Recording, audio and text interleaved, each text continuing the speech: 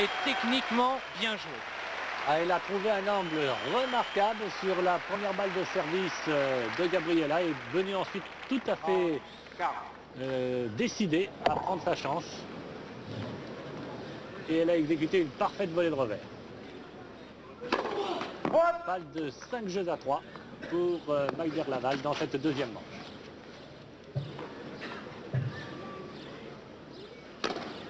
Ah, celle-là est indiscutable alors. Double faute. Et bilan, eh bien, Maïder Laval mène 5 jeux à 3 dans la deuxième manche. Je vous dis, François, la rumeur va enfler, va monter dans Roland Garros. Le public euh, Laval. Maïder Laval, la soutient. Il faut bien avouer que sur le but de la première manche, on pouvait s'attendre à tout, sauf à cela, c'est-à-dire à ce que Maïder Laval puisse servir pour le gain de la seconde manche face à Gabriela Sabatini.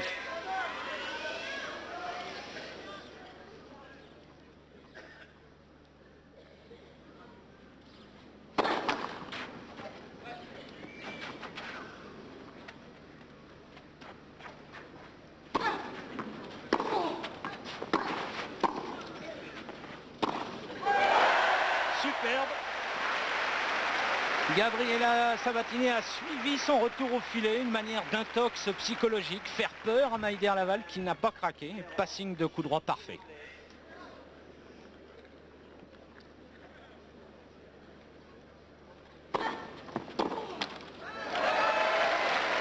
Et 30-0, 2 points du.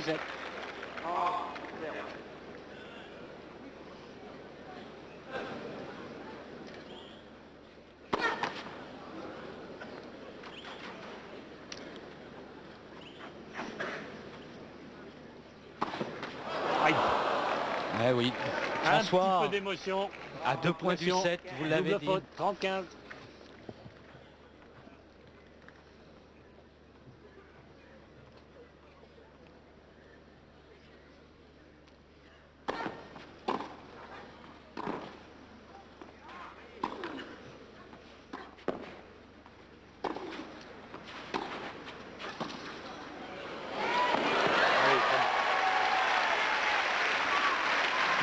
D'amorti, rétro pratiquement de Sabatini.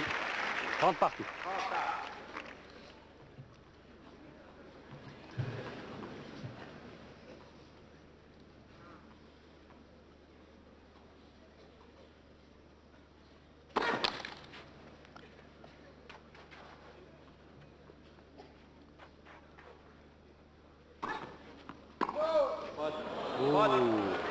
Deuxième double faute, euh, dans le jeu, mais celle-là alors elle me semble euh, estime le très juge très litigieuse. estime le juge de ligne. En tout cas, euh, ce qui est dramatique, c'est que la première balle ne passe plus.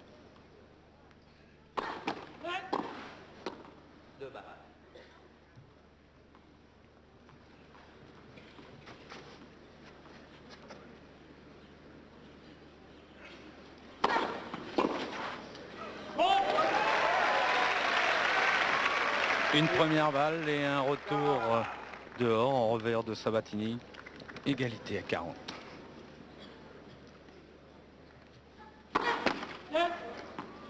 Deux balles.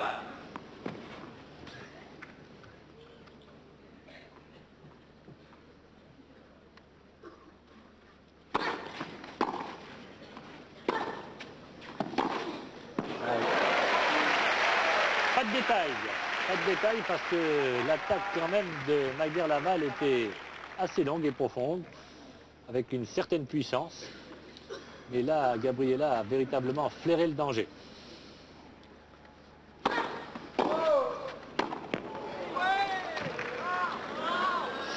S'il vous plaît.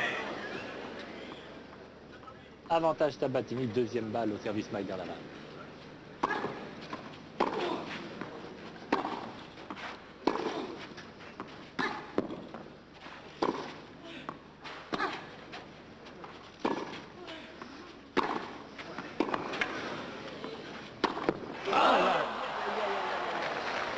Balle d'attaque facile, là, elle s'est un petit peu trop précipitée, Laval. Et donc elle, euh, près d'avoir mené 30-0 dans ce neuvième jeu de la deuxième manche, eh bien, elle perd son service pour la première fois depuis le début du set, alors qu'on a revu au ralenti cet échange. Et Gabriela Sabatini revient à 4 jeux à 5 dans cette deuxième manche et son service à suivre. Gabriela qui, c'est indiscutable, a senti le danger, a serré un petit peu plus le jeu et en plus de ça a bénéficié d'un certain relâchement ou d'une certaine pression en même temps sur les épaules de Magder qui a commis deux doubles fautes dans ce jeu particulièrement important pour elle. Et oui, le synonyme de ce mot pression qu'on utilise beaucoup dans le tennis, parfois trop, ça serait là peut-être simplement la peur de gagner, la peur de prendre un set devant quelqu'un qu'on respecte, qu'on admire, qu'on croise euh, pratiquement une fois, deux fois dans l'année sur les circuits au maximum. Elle s'est retrouvée à deux points de prendre un set à Gabriela Sabatini et là elle s'est un petit peu bloquée.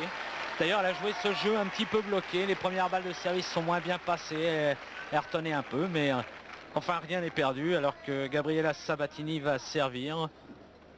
Maïder Laval mène encore 5 jeux à 4 dans la seconde manche alors qu'elle a perdu la première, 6 jeux à 1.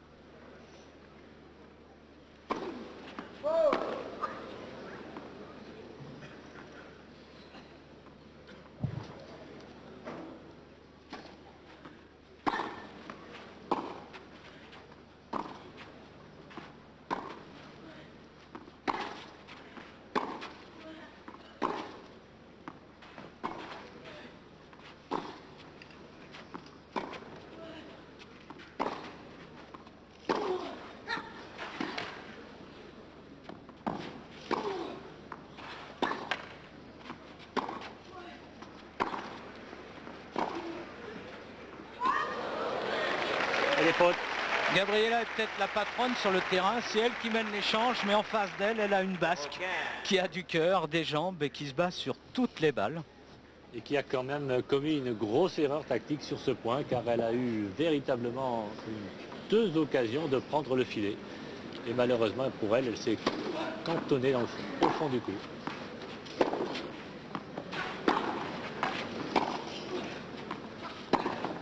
Elle est belle Superbe droit des croisés. 0-30. On n'en dira pas plus. On revoit cette attaque. Se déporte bien, elle ouvre bien. 0-30.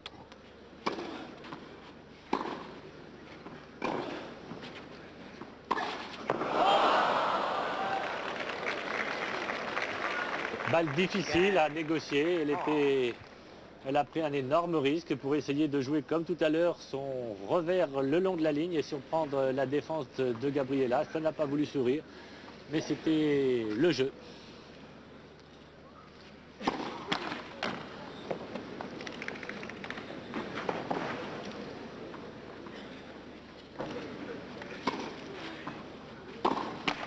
Oui, alors là, là c'est une grosse faute. Sur une mise en jeu ah assez faible, j'ose même pas employer le mot service, c'était une mise en jeu de la part de Sabatini. Et là, euh, Maider a fait une faute de concentration.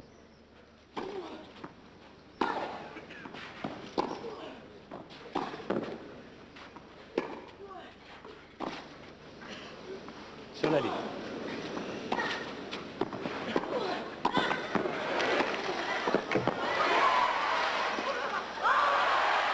Trop, mais très bel échange de la part de Maïder qui se bat magnifiquement.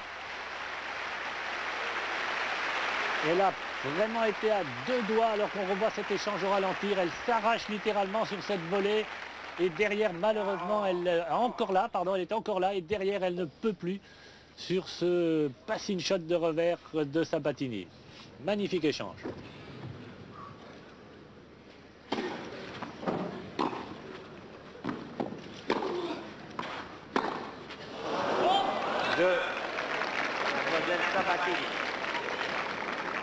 Ah, ça fait deux fois que Maïder Laval était à deux points du 7 et deux fois elle a laissé passer la... Je, n'ose pas dire la chance, au moins l'occasion, car il, n'était pas question de chance, mais d'occasion. Entre autres sur ce retour, sur un second service euh, très très moyen de Sabatini. Enfin, faisons-lui confiance, 5 partout, rien n'est encore perdu pour elle.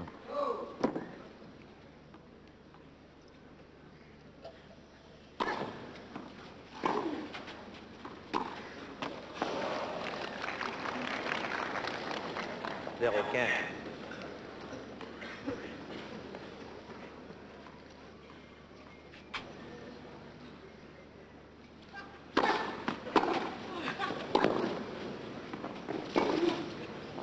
Voilà.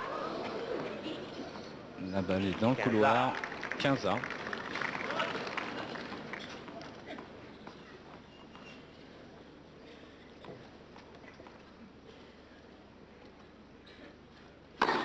Ah,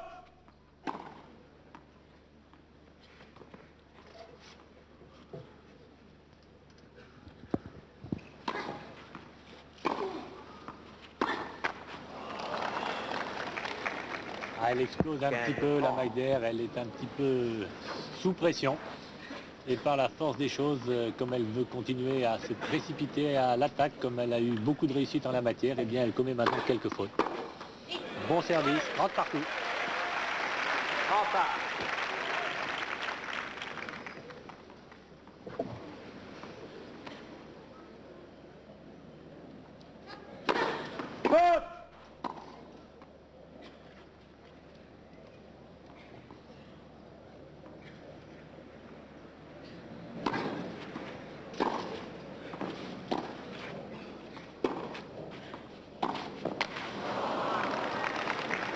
Elle est hésitante sur ce revers, hésitante.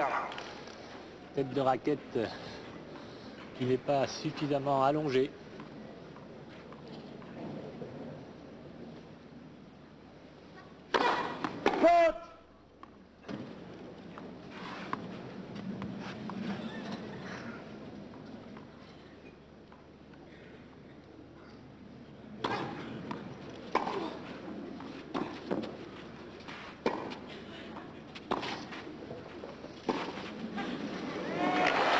Bouffée. Aïe aïe aïe, je crois que c'est la chance de Maïder Laval qui vient de passer sur ce lifté.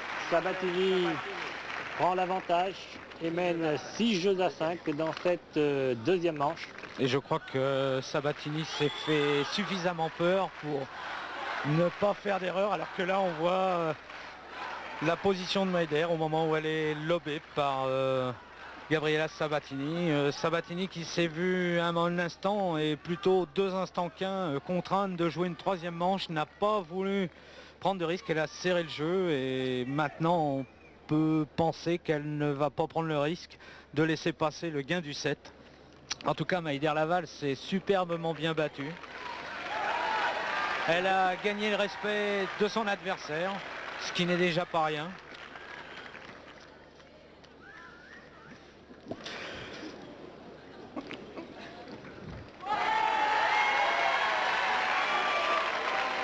Voilà, 6 jeux à 1, 6 jeux à 5 au service euh, Gabriela Sabatini pour le gain du match.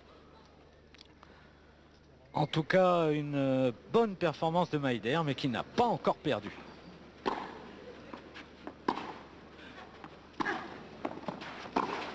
Vous voyez, elle est quand même euh, gênée, elle manque peut-être suffisamment d'attention, mais elle est très gênée par les attaques slicées de Magder Laval. Beaucoup de passing shots de la part euh, de Sabatini ont été ratés.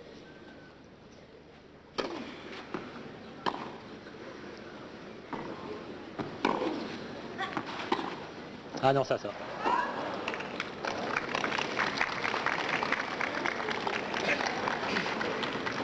Quinze ans.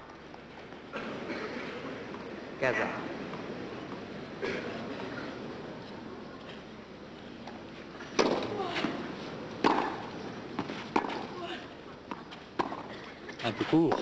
Ouh là là.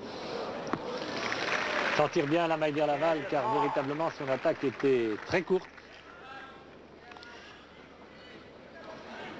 15 30.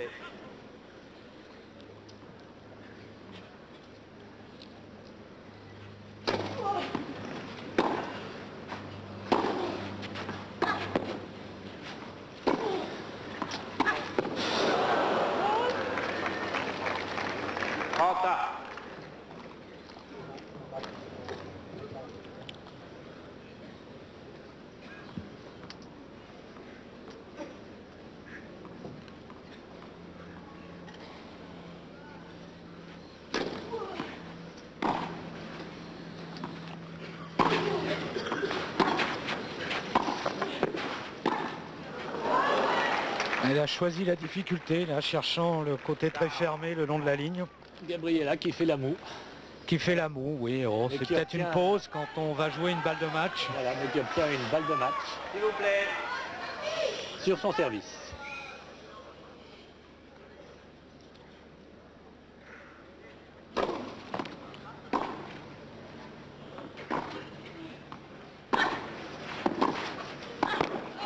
Et c'est fini. 6-1, 7-5 pour euh, Sabatini. Bon match de la jeune Basque qui a véritablement, remarquablement défendu sa chance. Elle a pris beaucoup d'initiatives au cours de la deuxième manche. Elle aurait pu, avec un peu plus de réussite, peut-être conclure la deuxième manche, ce qui aurait été déjà un bel exploit de sa part. Malheureusement, elle n'y est pas parvenue. Sabatini, très sûre et très sereine, l'a emporté dans cette deuxième manche. Et je vous dirais tout de même que je n'ai pas été emballé par le nouveau service de Sabatini, qui certainement, si elle ne sert pas mieux que ça, aura beaucoup de problèmes au cours de ce tournoi sur sa mise en jeu.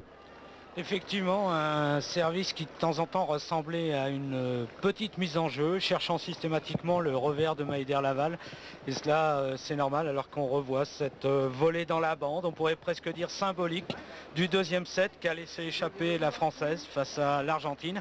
En tout cas, il y a sûrement avec Gabriela Sabatini un homme heureux, c'est Nelson Montfort qui, dans le studio d'interview de la 3, va recevoir Gabriela et Maïder. Mon cher Nelson, vous êtes gâté.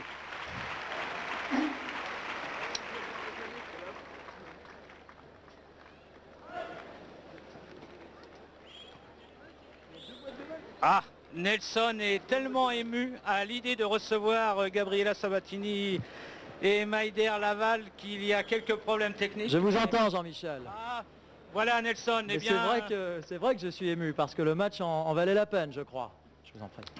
Eh bien, Nelson, je vous confie euh, Gabriela et Maïder pour une euh, courte interview, les premières impressions d'après-match. So, uh, Gabriela, I suppose a very uh, big surprise for you to find such resistance from Maïder Laval. Did you know her before starting this match? Euh, une, une grosse surprise, j'imagine, pour vous, pour euh, de voir tant de résistance de la part de Maïder Laval. La connaissiez-vous avant de la rencontrer aujourd'hui? No, I never saw her play and I didn't know anything. So I think she, she's a good player. I mean, uh, for moments she plays very good. She uh, she has a good serve and she came to the net very much and she win a lot of points. Was No. very di- difficult? Oui, non, je, ne- je ne la, je ne la connaissais pas du tout. Comme vous avez pu le constater, elle a pris toutes ses chances. Elle est vraiment bien montée au filet, bien montée à la volée pour conclure des points. Et j'ai eu effectivement un match très, très difficile. There's a lot of talking about you, as you know, Gabriela, about being one of the very top favorites of this tournament. Uh, how do you feel about that new situation? Il y a beaucoup de, de- on, on parle beaucoup de vous comme une favorite et vraiment une gagnante possible de ce tournoi. Comment appréciez-vous cette euh, nouvelle situation, ce nouveau statut? Well, I think this is a good tournament. I have good chances to win it. So I think I had a, a good preparation and, and I'm looking forward uh, to be on the finals and, and I hope I can, I can be there. Oui, je pense déjà, je pense déjà à la finale, nous dit, nous dit Gabriella. Je suis très, très confiante et, euh, je crois que j'ai vraiment de, très très bonnes chances de, gagner, de remporter ce tournoi de Roland Garros euh, cette année. Uh, Gabriella, how do you feel about the uh, opposition? How, how should I say the uh, the very usual opposition with Steffi Graf? Uh, is it very stimulating for you to uh, when you, when you uh, uh, meet her and you've, you've beaten her this year? How does it? Uh, how do you react to that? Comment est-ce que vous voyez la concurrence avec Steffi Graf qui a à peu près votre âge? Est-ce que c'est très stimulant? Est-ce que c'est très motivant pour vous de la rencontrer et vous l'avez du reste battue cette année? Well, it's, uh, it's gonna be tough. Uh, um, I beat her this year and, and I know this time is gonna be much difficult to win, so I hope uh, I can Oui, je l'ai, je l'ai effectivement battu cette année, mais en tout cas, de toute façon, ça, promet d'être un match très difficile, comme ça l'est du reste à chaque fois. Euh, Maïder Laval, euh, bon, j'imagine que pour vous, c'est à la fois une, euh, satisfaction, une énorme satisfaction d'avoir tant inquiété la numéro 5 mondiale, et puis peut-être au bout du compte une légère déception, parce que dans ce deuxième set, évidemment, à 5-3, vous aviez tout de même une très bonne chance de pouvoir vous imposer. C'est sûr, on est toujours déçu d'avoir perdu, mais bon, je savais que j'allais avoir un match assez difficile face à Gabriela Sabatini, donc je me suis battue jusqu'au bout et c'est sûr qu'au deuxième set, je, je menais 5, jeux à 3 et j'ai raté quelques occasions qui, qui m'ont coûté assez cher. Oui, qu'est-ce qui, justement, dans ce fameux jeu à 5-3, qu'est-ce qui s'est passé? Est-ce que c'était un peu dans la tête? Euh, notamment, on vous a vu, on vous a vu euh, faiblir, on vous a vu servir, on dirait une double faute n'est jamais bonne, mais vraiment là, il y a eu une très très, une double faute qui est tombée vraiment au très très mauvais moment. C'est-à-dire qu'au moment important, c'est Ouais. sûr que bon, on a un peu peur et on se contracte un peu. Évidemment, la double faute est venue au moment où il fallait pas qu'elle vienne. Et euh, j'ai raté une attaque en revers aussi qui m'a coûté euh, très cher encore une fois. Honnêtement, sur votre match d'aujourd'hui, est-ce que vous avez le sentiment qu'il y a 200 places d'écart au classement mondial entre vous deux? C'est sûr, c'est difficile à dire. Bon, j'ai fait un bon match aujourd'hui. Seulement, il faudrait le, le répéter plusieurs fois, de, le répéter plusieurs fois et faire ça beaucoup plus souvent. À un autre niveau, on fait ça, euh, on fait un match, un match par mois comme ça et c'est- pas suffisant. Comment est-ce que vous jugez le jeu de Gabriela? Gabriella a un beau jeu. Au fond du cours, euh, elle frappe bien la balle. Elle a un bon service aussi et je pense qu'il faudrait qu'elle essaye maintenant de, de prendre le filet un peu plus souvent et être très forte. Ma, uh, Maïder Laval is telling us that you have a very good game, a very good game from the end of the court, but it it would be even better if you could come up a little up to the up to the net